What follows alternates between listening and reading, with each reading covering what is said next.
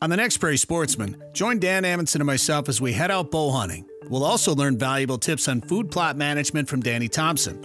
And stay tuned for an intriguing look at nature when we learn about the Offal Wildlife Watching Project. Coming up this week on Prairie Sportsman.